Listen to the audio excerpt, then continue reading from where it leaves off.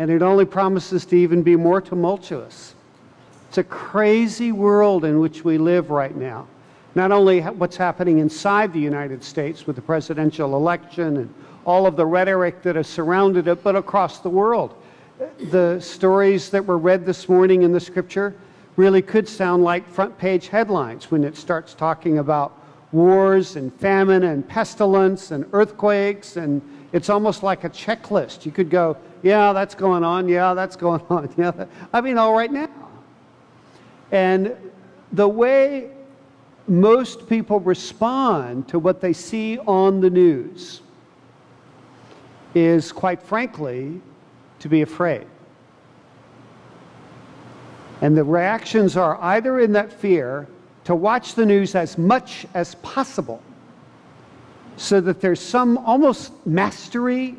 Maybe if I know enough about what's going on, I'll, I'll feel more settled in my life. Or the opposite is the case. I'm just going to turn it off and not pay attention and sort of just act like it's not happening at all. So, how odd it is in the midst of this sort of tumult to hear the words of the canticle out of the book of Isaiah Surely it is God who saves me. I will trust in him and not be afraid. For the Lord is my stronghold and my sure defense, and he will be my Savior. Now that works, except if you're really listening to the scriptures when Jesus begins to tell us stories to his own disciples and says things like, You will be betrayed even by parents and brothers, relatives and friends. They will put some of you to death. You will be hated by all because of my name. That doesn't sound a lot like deliverance, does it? Are you there?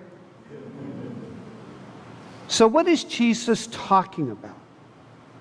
What does it mean somehow to be protected even in the midst of difficulty? It doesn't necessarily mean that you're saved out of bad circumstances. That's a part of what's self evident. Although it does happen. And churches are always filled with stories about how at the very last minute God showed up and it, I never expected it and I prayed for it, but I wasn't sure it was going to happen. But deliverance came. You fill in the blank about how that occurs. I've got stories like that in my life too, for which I am profoundly grateful. But I also hear the stories, especially of persecuted Christians. As I said to those who were being confirmed prior to the early service, we are, you are being confirmed into a, a communion, a church that is actually global.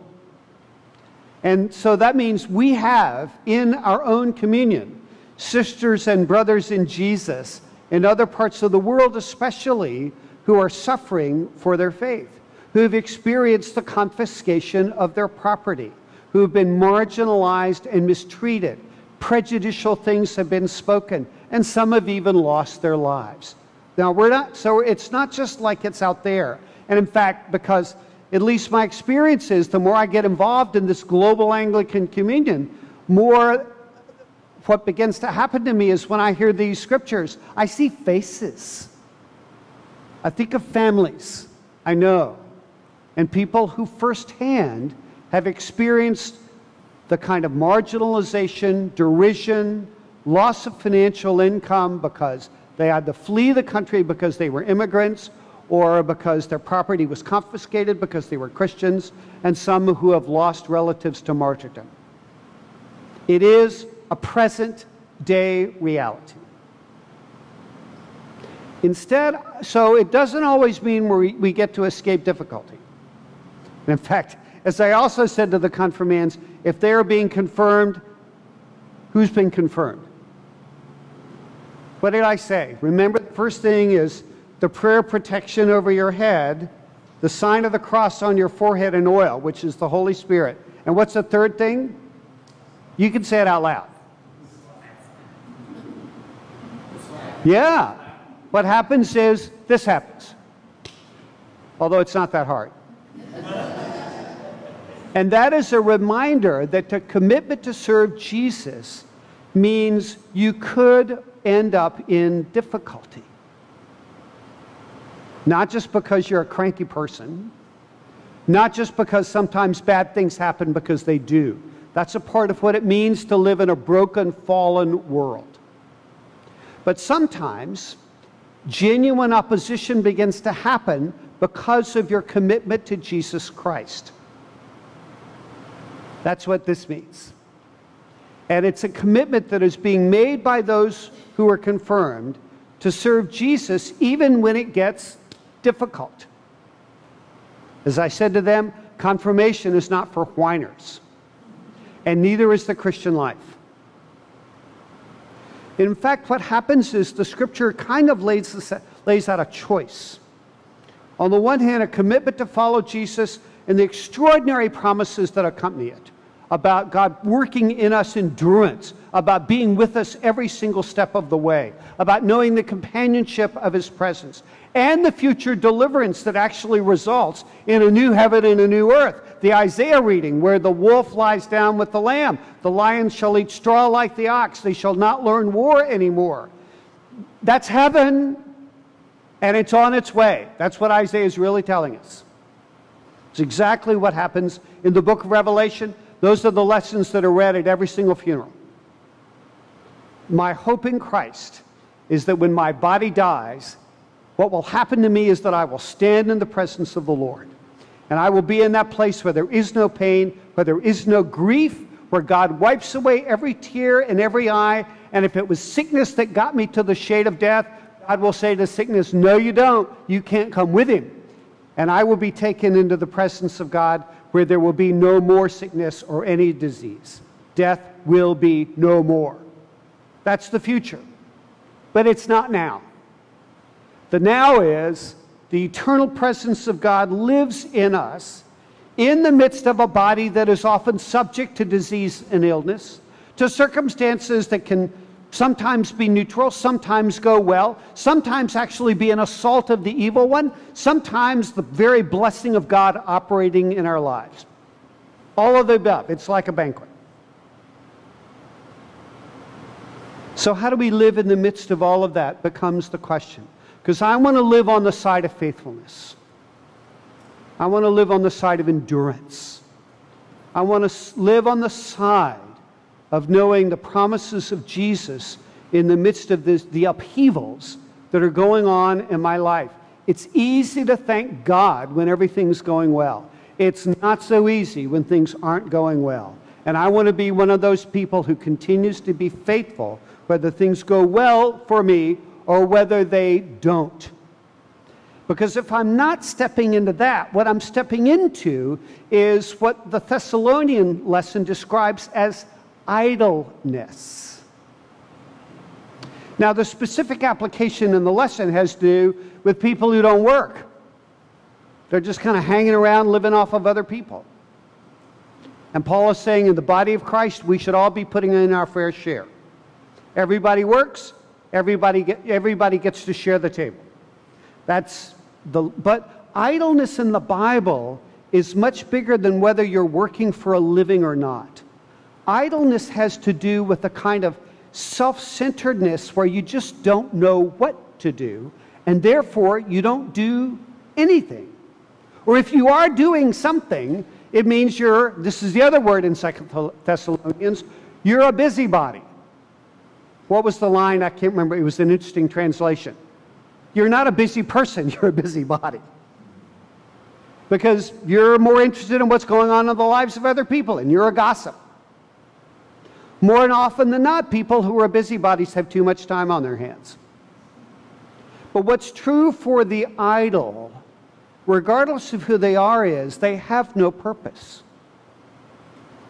And therefore, that's at the heart of why they gossip, why they don't, aren't particularly productive. So they're just kind of making it up. And they're the ones who are the most vulnerable to the fear factor that comes through the newscast every single day because nothing grounds them. They have no sense that somehow, in the midst of all of that turbulence, they're going to be taken through it. They have no assurance of the companionship of God. They have no purpose. Now, believe me, brothers and sisters, if the choice is, do I want to live with endurance and purpose, or do I want to be an idle busybody? That's an easy one, right? And believe me, you can work 24 7 at your job and still be an idle busybody if you're not living with purpose. If you don't have a life that is committed into the purposes of God. It, it starts straight from the beginning when the prayer that was offered from the back of the church, what we call in our language the collect of the day, which is a prayer, and it leads us to the scriptures. Blessed Lord, who causes all scripture to be written for, notice, our learning. Learning. In other words, straight off the bat, what we're met, saying in that prayer is, you know, I really don't know a lot, a lot about the Bible. And I need to be a learner. And I want to say to you, as somebody who's a seminary graduate, who's done doctoral work, who's been ordained for 40 years, this year, the fact of the matter is, I feel like I'm just getting started. And in fact, I know less now than what I thought I knew when I was just getting started. Because that's a part of the arc of learning. The more you get into a subject, the more you begin to discover how vast it really is. And out of that, I'm actually being invited into a place of both being a learner, which means I'm hungry to know, and I'm hungry to know not just the content of a book, I'm hungry to know a person. And therefore, I want to grow in my relationship with Jesus. It, it invites us into a kind of gentle humility. Childlikeness, you see, is the model for discipleship in the Bible. Not the, I know who I am, I know where I'm going, I got this. A four year old, unless he's a spoiled brat, never says, I got this. No, no, a chi- a, that childlikeness is the very expression of dependency, of a need to be led, of a tremendous amount of curiosity. What's that?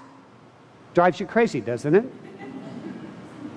because there's a hunger to learn and to know.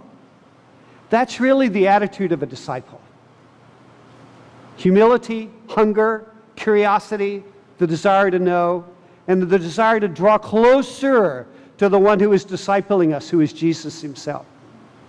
And it is in that vista that I become the one who is being shaped by Jesus, made more like him. And out of that, God's gift beginning to receive a level of inner stability and character that allows me to continue to move forward even when life is at its worst. Not as I define what worst is, but as the Bible defines as what is worst persecution, famine, sword, war, rumor, war, all of those things. And I've seen it. I've seen it in the faces of people I know who have faced all of those things there is such a sweet gentleness about them. There's such a quiet joy. It's exactly the opposite of what you might expect. What you'd expect is tough, embittered, cynical. But actually, the opposite is the case. And it's not that they're not tough. Boy, let me tell you. But what's really true is, is that God has worked in them that kind of childlike dependency that allows them to trust even when they're facing the point of a gun.